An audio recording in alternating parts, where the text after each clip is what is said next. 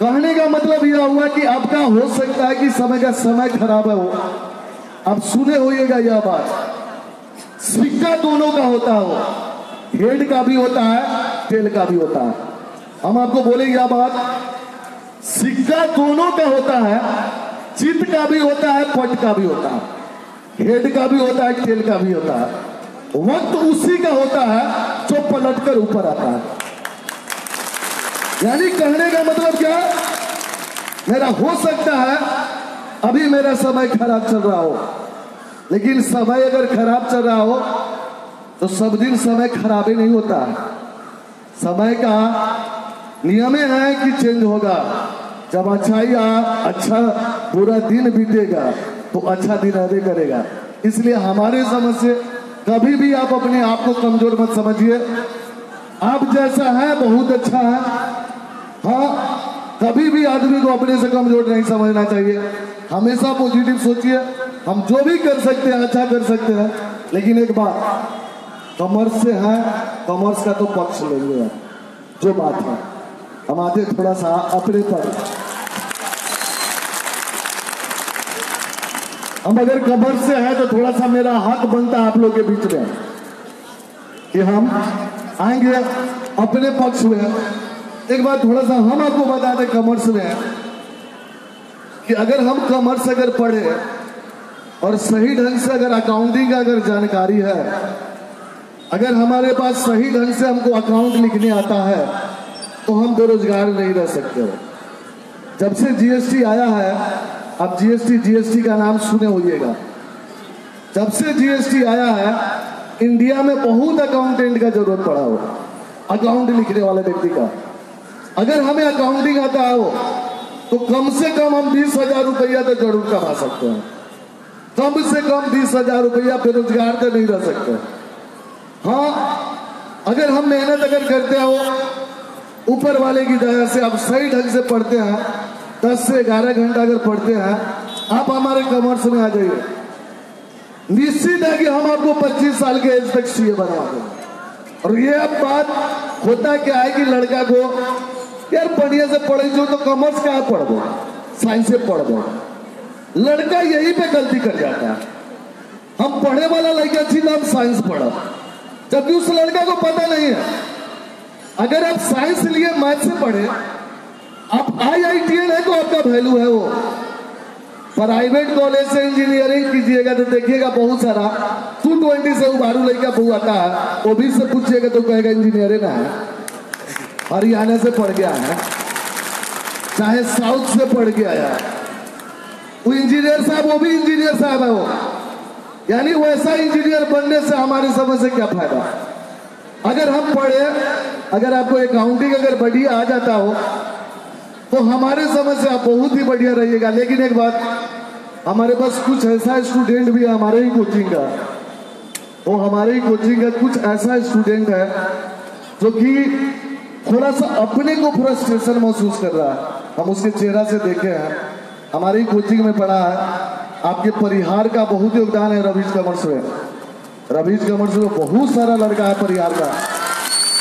और बहुत सारा लड़का है। अब दिल से यह बात हो रहे हैं, आपका शुरू से ही रवीश कमर्स का आपका सहयोग रहा है परिहार एरिया से। तो कुछ लड़का को हम देखे हैं कि वो थोड़ा सा उदास था।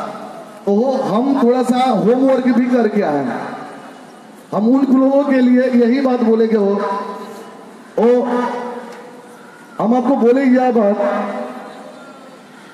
वो जीतन राम माझी का कथन था, या जीतन राम माझी हम कह रहे हैं सॉरी दशरथ माझी का कथन था वो। द माउंटेन मैन माझी, अब फ़िल्म निकला था वो। नवाजुद्दीन सिद्दीकी का अभी फ़िलहाल, अभी फ़िल्म कुछ दिन पहले आया था। दशरथ माझी का। दशरथ माझी का कथन था क्या कि हम भगवान भरोसे क्यों रहे? हम भगवान भरोसे क्यों रहे? क्या पता भगवान हमरे भरोसे बैठा हो। कहने का मतलब यह, अगर हम असफल होते हैं वो मन में थोड़ा सा डाउट आता है, मेरा फ्यूचर क्या होगा? हम यही कहेंगे, समय का थोड़ा सा इंतज़ार कर बेटा। हाँ थोड़ा सा पॉजिटिव रहो। असफलता आता है। हम भी, आज रवीज कमर से जहाँ पे है, हम भी दो लड़का से पढ़ाए थे। हम भी स्ट्रगल करके वहाँ तक पहुँचे। ऊपर वाले की दया से मेरा और सारा काम धंधा भी है। मैंने भी बहुत स्ट्रगल किया हो। आज अगर आपके बीच में है, आपको देखने, सुनने में ठीक लगते हैं, कमाते हैं तो बिना मेहनत के नहीं होता वो। यानी मेहनत से ही सारा कुछ होता है। आदमी को पॉजिटिव सोच के मेहनत करना चाहिए। अगर हम पॉजिटिव कर रहे हैं, हम मेहनत कर रहे हैं, ऊपर वाला पर छोड़ दीजिए। जो होगा, सो अच्छा ही करेगा। लेकिन हम सार्थक मेहनत करेंगे। हमको क्या पता था कि आप लोग हमारे बात को सुनिएगा हम स्टेज बनवाए। टार्जन को बोले कि, बाबू होते का साउंड का बढ़िया व्यवस्था कर दो। हमको थोड़े पता था कि आप लोग हमारे बात को सुनने आइएगा। इसका मतलब हम मैंने रिस्क लिया हो। पाँच आदमी भी आते तो मैं यह प्रोग्राम कराता हूँ। दस आदमी भी आते तो मैं यह प्रोग्राम कराता इतना आप लोग आए, तभी भी मैं प्रोग्राम करा रहा हूँ। कहने का मतलब क्या? मैंने पॉजिटिव सोचा।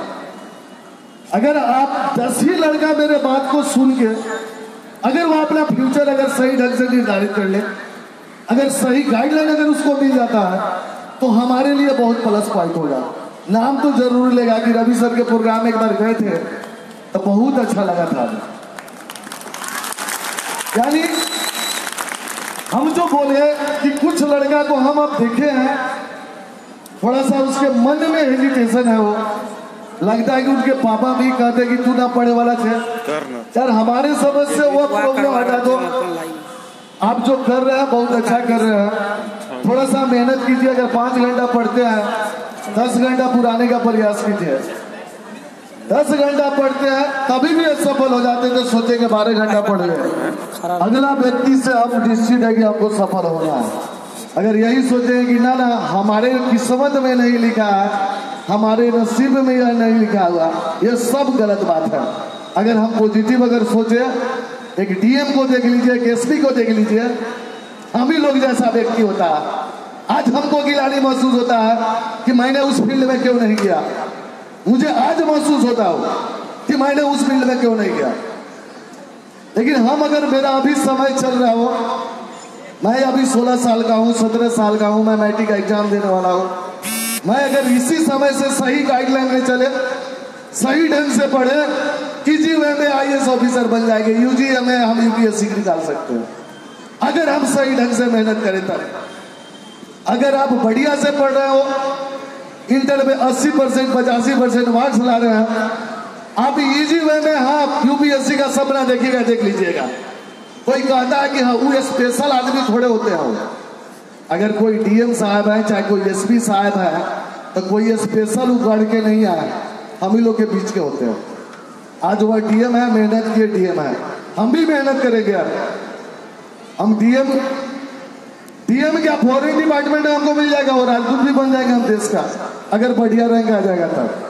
तो कहने का मतलब यह कि कभी भी आदमी को अपने से कमज़ोर नहीं समझना चाहिए मेहनत कीजिएगा पॉजिटिव सोच रखिएगा, सही ढंग से आगे बढ़िएगा, ज़रूर हम सफल होंगे।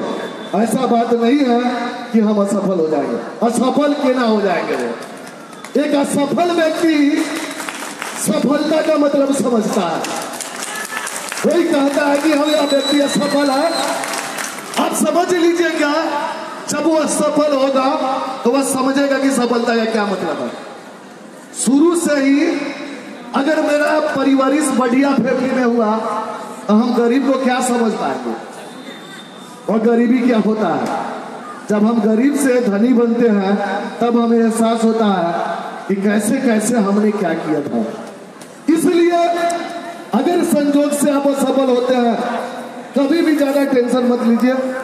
पहले अगर पाँच घंटा पढ़ते थे, दस घंटा पढ़िए तब आप समझिएगा जब सफल हो गया तब सफलता कैसे आता? तब लोग इस बात को समझता बहुत हद तक आप लोग हमारे बात को सुने, बहुत हमको अच्छा लगा। और जहाँ तक बात हो, हमसे जितना भी कॉपरेशन का, अगर आप लोगों को ज़रूरत अगर हो तो हम वहाँ पे कॉपरेट करेंगे।